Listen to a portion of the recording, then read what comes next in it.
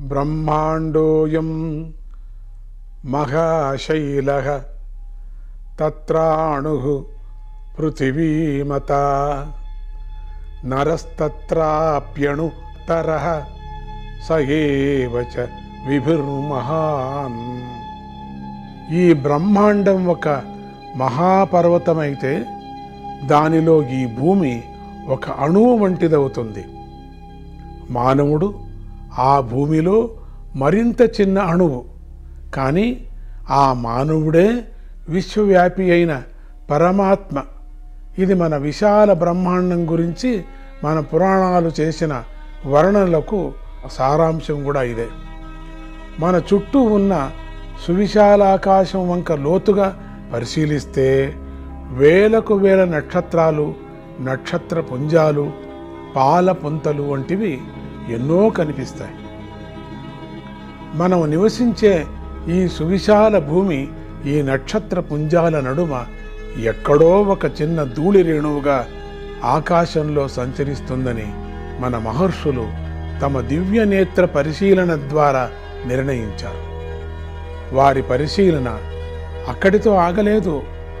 అత్యంత సంక్లిష్టంగా అనంత విశాలంగా ఉన్న నక్షత్రమండల పుంజాన్ని వారు శ్రీమన్నారాయణుడి విరాట్ రూపంగా పరమేశ్వరుడి నటరాజ రూపంగా దర్శించారు. పాలలో పంచదారలాగా విరాట్ రూపంలో మానసికంగా కరిగిపోవటమే మానవుడి దివ్యత్వ సాధనకు దగ్గరి దారి అని కూడా వారు స్వానుభవపూర్వకంగా నిర్ణయించారు. అలాంటి ఈ అనంత విశ్వాంతరాళం ఈనాటి వైజ్ఞానికుల ఆసక్తిని కూడా ఒడిసి పట్టుకుంది. వారి సునిశ్చితమైనటువంటి వైజ్ఞానిక పరిశీలన మన మహర్షుల బోధలకు ఎంత సన్నిహితంగా ఉందో గమనిస్తే ఎవరైనా ఆశ్చర్యచకితులు కాక తప్పదు. విశ్వవిఖ్యాతుడైన ఆధునిక ఖగోళ శాస్త్రవేత్త కార్ల్ షగాన్ ఈ విషయంలో ఏమంటున్నాడో ఇప్పుడు పరిశీలిద్దామా?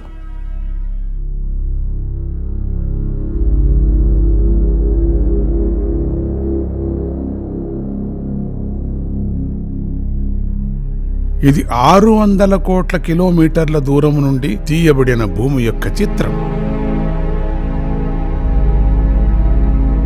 పద్నాలుగు ఫిబ్రవరి పంతొమ్మిది వందల తొంభై సంవత్సరంలో వాయేజర్ ఒకటి అనే స్పేస్ క్రాఫ్ట్ ఈ చిత్రాన్ని తీసింది. ఆకాశంలో చెల్లాచెదురుగా విస్తరించి ఉన్న కాంతి కిరణాలలో ఒక కిరణం మధ్యలో చిన్న చుక్కలాగా కనిపిస్తున్న మన భూమిని చూసి ప్రఖ్యాత ఖగోళ శాస్త్రవేత్త కార్ల్ షెగాంగ్ ఈ విధంగా అన్నారు.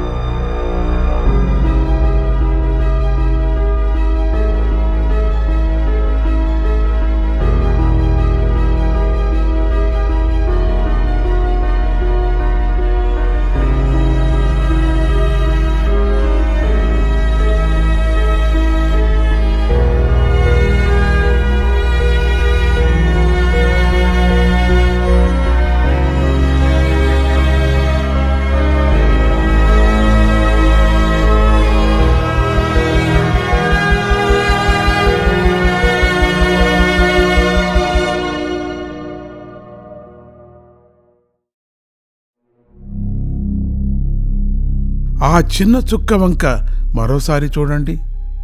అది మన ఇల్లు. అది మనమే.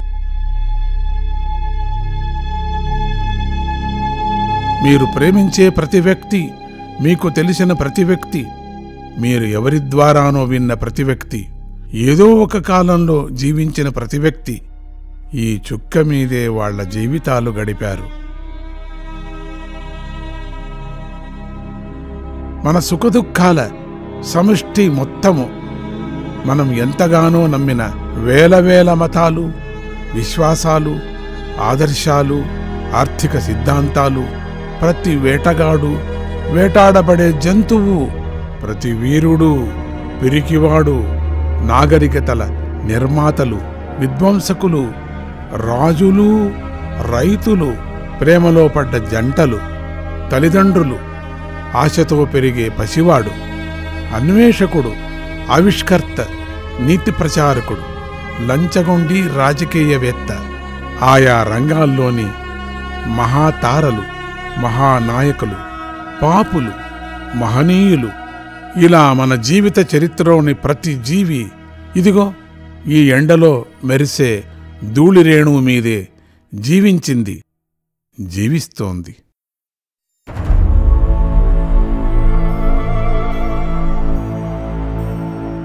విశాల విశ్వరంగంలో ఈ భూమిది చాలా చిన్న వేదిక.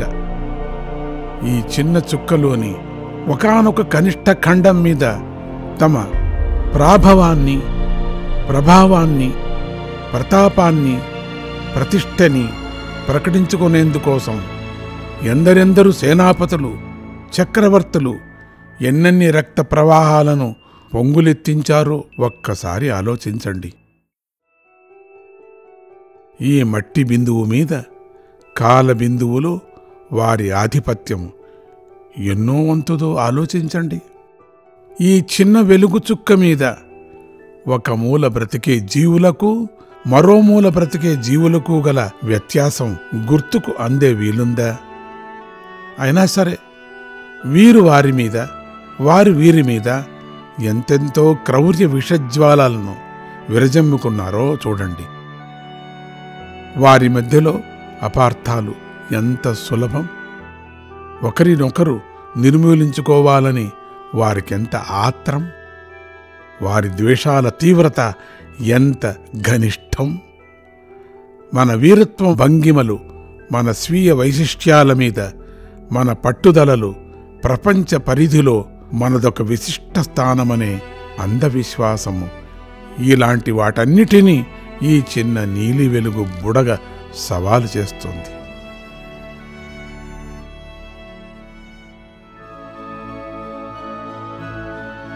బహు విస్తారమైన ఈ నక్షత్ర మండలాల మధ్యలో గల గాఢాంధకారంలో మన భూగోళం ఒక ఒంటరి చిరు రేణువు. మనం ఎక్కడున్నామో మనకే తెలియని ఆ అవిజ్ఞాత సన్నివేశంలో ఈ అనంత వైశాల్యంలో మన నుంచి మనల్ని రక్షించేందుకు ఎక్కడి నుంచైనా సహాయం అందుతుందనే సూచనలేవీ లేవు మనకు.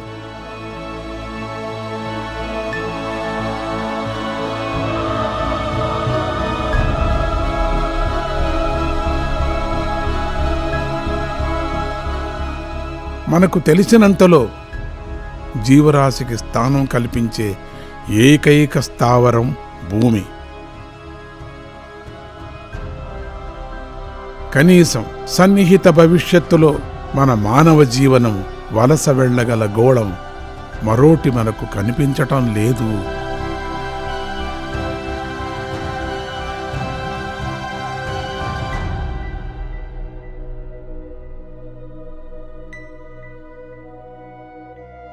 పోయి చూసి వస్తామంటారా? సరే అక్కడ ఉంటామంటారా? ఇప్పట్లో దానికి ఆస్కారం లేదు. మనకు ఇష్టం ఉన్నా లేకపోయినా ప్రస్తుతానికి ఈ భూమి ఒక్కటే. మనం కాలు నిలదొక్కుకొని నిలవగల జీవనాధారం.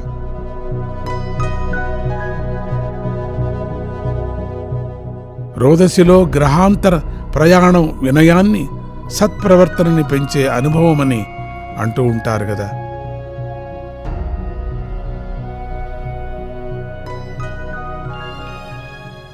కానీ మానవులలో ఉన్న ఆత్మోత్కర్షలోని డొల్లతనానికి ఈ సుదూర భూలోక ప్రతిరూపం కన్నా మించిన ప్రత్యక్ష నిరూపణ వేరే లేదేమో. నా మటుకు నాకు ఈ నీలి బిందువు నొక్కి చెప్పే పాఠం ఒకటే. మనం ఒకరి పట్ల మరొకరు మరింత దయగా ఉండాలని దాని ద్వారా మనకు తెలిసిన ఈ ఏకైక జీవన వాసస్థానాన్ని ఈ లేత నీలి చుక్కని మరింత పదిలంగా ప్రేమతో భద్రపరచుకోవాలని అంతే. మానవజాతి ఆవిష్కరించిన ప్రప్రథమ గ్రంథాలైన వేదాల సందేశం కూడా ఇదే.